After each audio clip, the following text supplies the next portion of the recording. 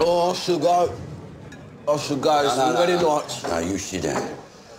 You don't want to be among women when there's a baby coming. Have another.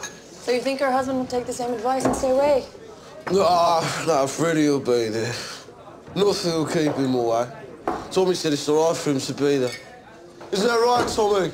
That's right. I'm all out tonight.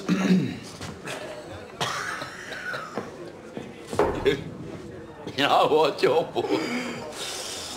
I think it's that lovely barmaid, that pretty barmaid that just walked out, that's made our brother go all soft. Drinks for that.